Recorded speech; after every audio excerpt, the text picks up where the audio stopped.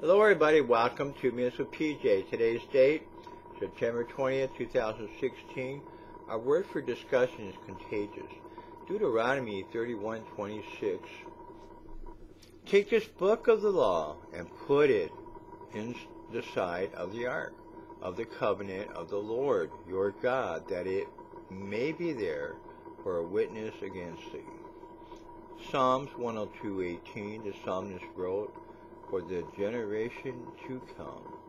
In John 20:29 through 31, John wrote so people who had not seen Jesus or witnessed his miracles could read the eyewitness record of them, and so could believe on Jesus and have eternal life.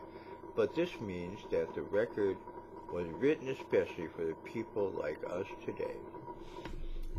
In 2 Peter 1, 12 through 15, Peter expressly states that he wrote what he did so the people could have the written record of his teachings to remind them in the future, even after Peter was dead.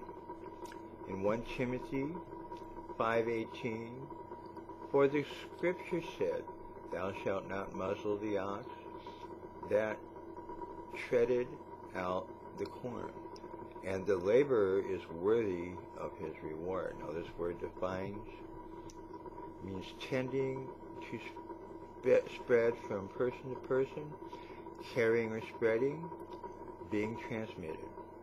Moses, Moses told the Israelites to spread the law and keep the book with the Ark of the Covenant. The spread of the word became contagious, and the records of Jesus were shared even today.